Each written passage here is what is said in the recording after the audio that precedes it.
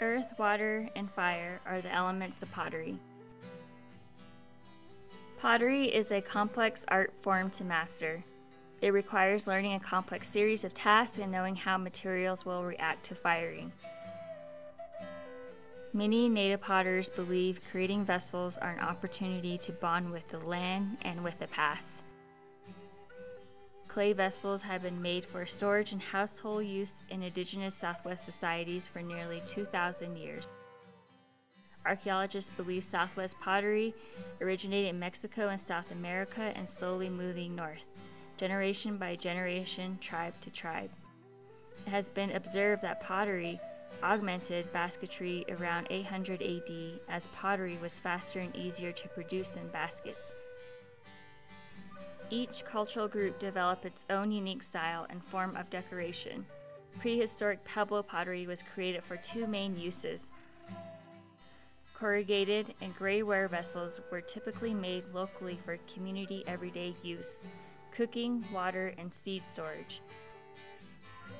Painted vessels were likely used for ceremonies and food serving. Vessels were painted with pigments made from residues of boiled plants or finely ground minerals from rocks.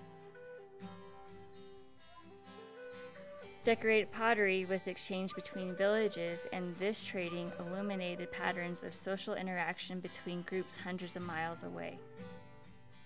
After the migration of ancestral Puebloan people from the Four Corners area, their pottery continued to change over time.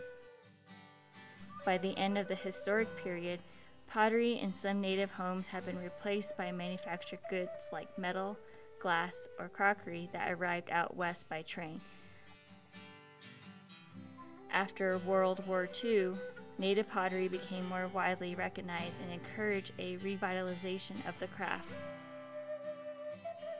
This revitalization also demonstrated that pottery could be a source of income to help sustain native communities. Pottery is a complex skill to master. What is the most complex skill that you have achieved? How did you feel afterwards?